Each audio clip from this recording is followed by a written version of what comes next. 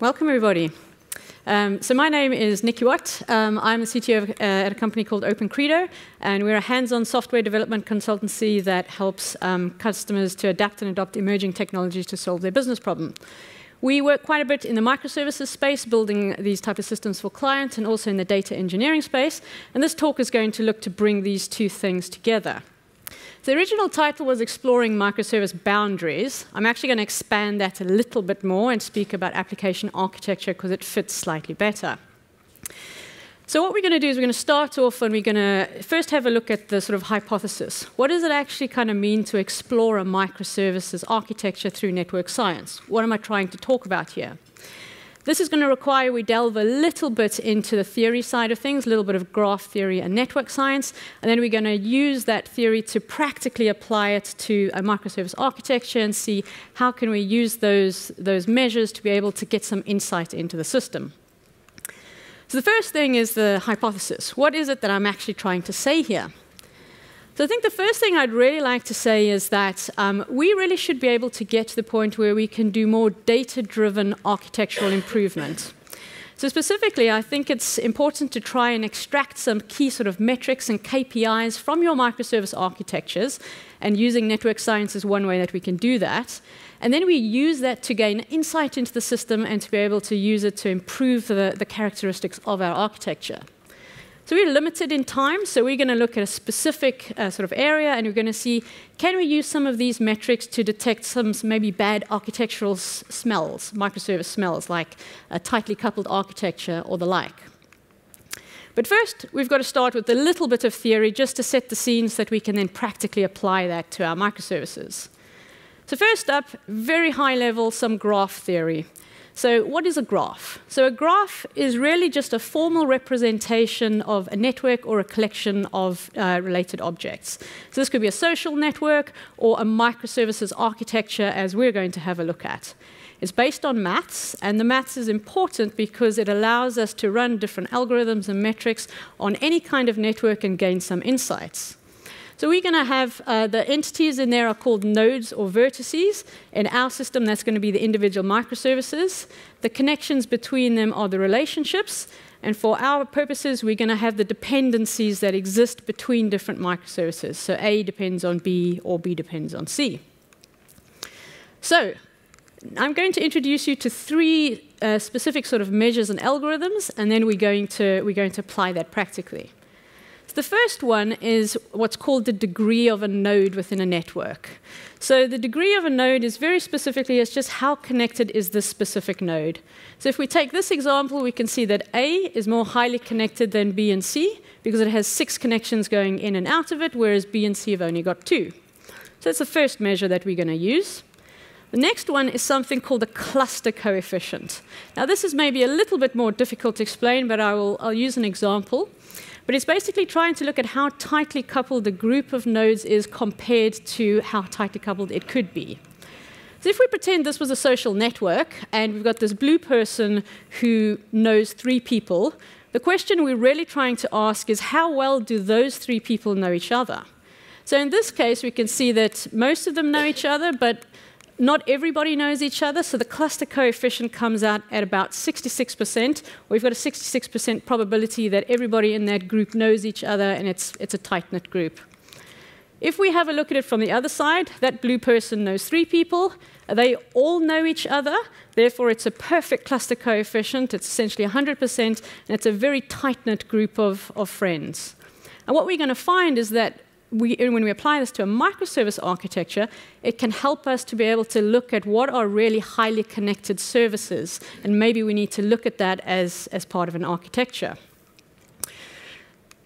The final sort of algorithm uh, that I just want to introduce you to is something called community detection.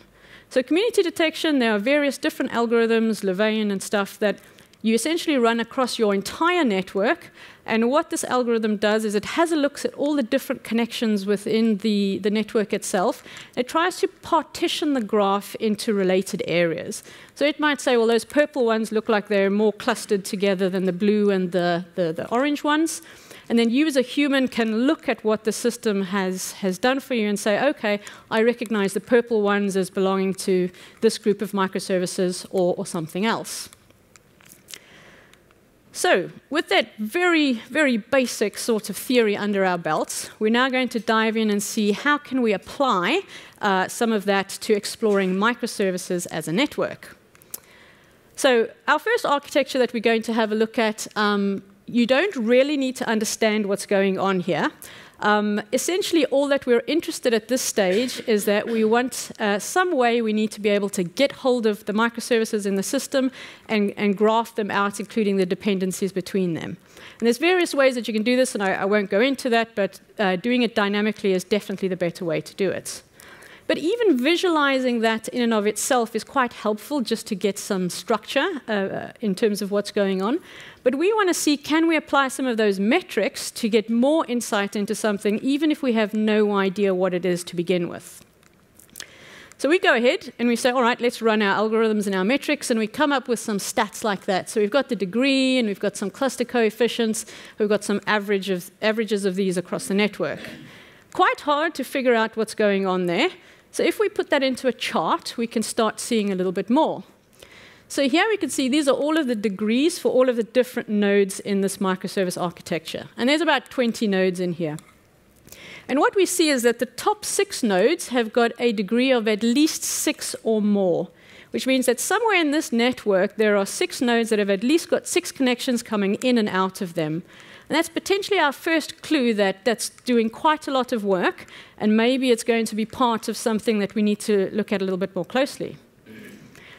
So if we apply our second, our second metric, which is the cluster coefficient, we can see that actually for a majority of, of the services, they have zero. They, they actually don't have, they're not speaking to any other microservice which themselves are speaking to other ones. However, the top seven have got a cluster coefficient of 0.6 and above. So there's some of them that have got a 60% probability of all the services they're talking to are also speaking amongst themselves. And what we want to do is also have a bit of a closer look at that.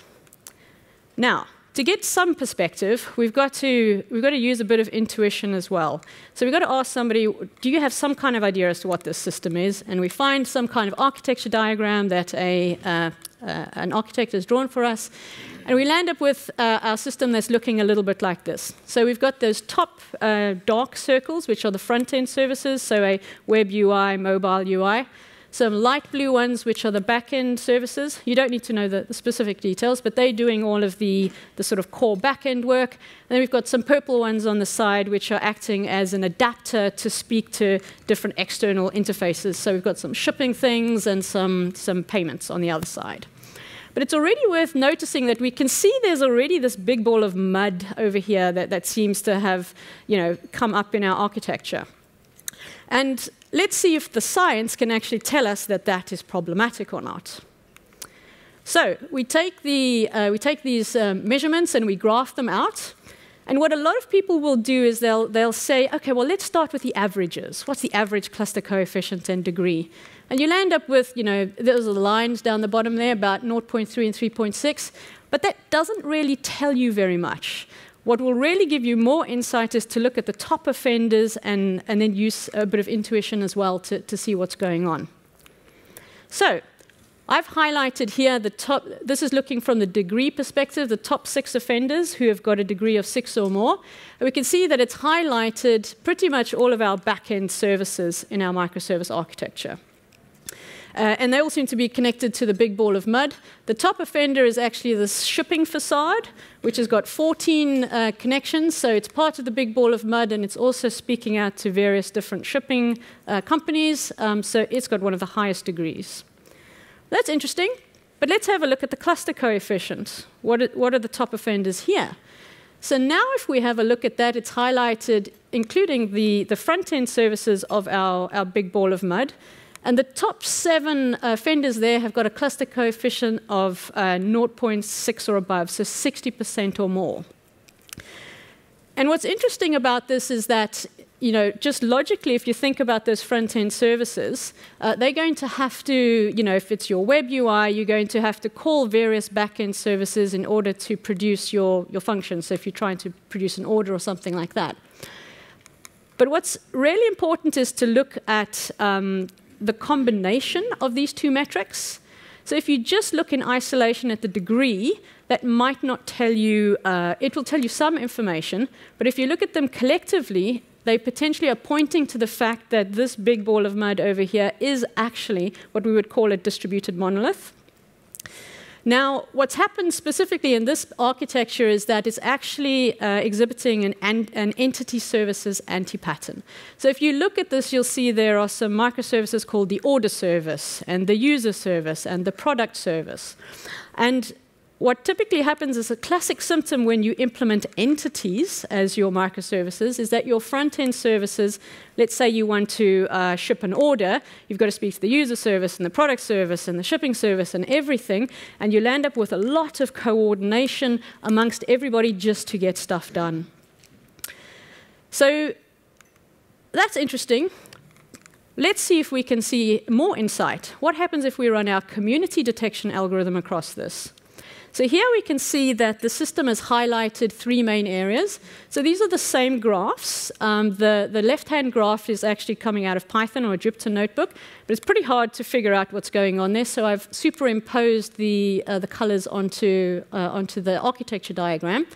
And we can see that the system thinks there's three main areas. So there's kind of the big ball of mud, and then there's the yellow area, which looks like it's a little bit more of the shipping type stuff, and we've got this purple area, which is the, the payment side of things. And this has also confirmed to us that we've got something which is very tightly connected, uh, which is our big ball of mud, and uh, two other areas, as I said, which is the payment and the shipping. What is interesting is that this may not have been some of the original intention from the people putting the architecture together. So if any of you have done microservices, you will have heard you must do domain-driven design, you must have your user domain and your, you know, split it out into appropriate business uh, logic. But we can see that this is all completely muddled up in this, in, in this distributed monolith that we have here. And the insight that this can potentially bring if you're trying to look at your architecture can be quite interesting. So maybe you're struggling to release uh, because you've got hundreds of things that need to be released at the same time. These type of techniques can help you to discover where are the areas that you're going to struggle a little bit in, terms of doing that. So that's great. But what happens if we change the architecture? So we've recognized, okay, we've got a bit of a distributed monolith. What if we try and, and, and improve it? So let's hive off maybe the user section. Will the numbers actually change? Will it actually show any improvement? So we take our user entity service, which is over there, and we decouple it, well, we break it up into more functional based uh, sort of orientated services, and we come up with our new architecture. Again, you don't necessarily need to know exactly uh, what's going on, but we've, we've essentially decoupled it, and we're using some asynchronous um, processes to make sure we can get the data back to the monolithic side uh, so that it can still carry on.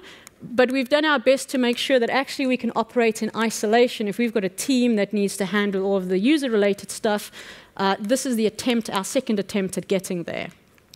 So we do the same thing. We run our stats, we get our graphs, and then we look at the data.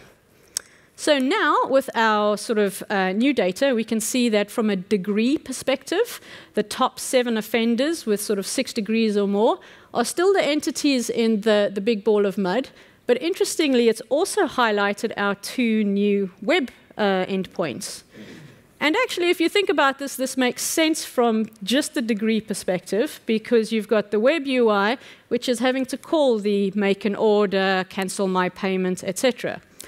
It may highlight a slightly different problem that maybe you've got too much orchestration going on in one service, but in and of itself, uh, it might not be, be indicating a distributed monolith.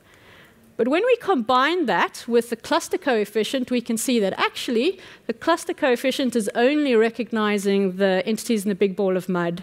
So when we put these two when we put these two together, we can see that it's still recognizing we've got a problem over there, but there's not necessarily a distributed monolith happening on the other side. If we run our community detection algorithm, we can see that that's changed as well. The system now recognizes that we have something that seems to be related over here, which is our user service, which we've specifically tried to, to hive off. And that's going to help us to be able to release and manage that more independently.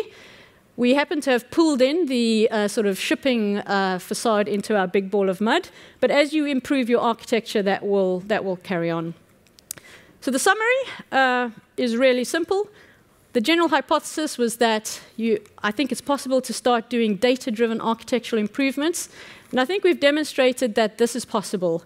You can extract metrics uh, using network science, and you can use that to gain insight into your architecture. We specifically looked at the degree and the cluster coefficient as a way to try and detect tightly coupled architectures. And we also use community detection algorithms to see can we uncover related groupings of, of boundaries or microservices. And that is probably pretty much it. We did detect some anti-patterns. This is a great book if you're interested in getting more into this. This is from Mark Needham and Amy Hodler. Um, so if you're interested in this stuff, uh, do that. And uh, yeah, if you're also interested in doing these type of things, uh, we're certainly hiring, so please do come and chat with me, or if you want a microservice architecture review, or just come and chat, that'd be great. Thanks very much.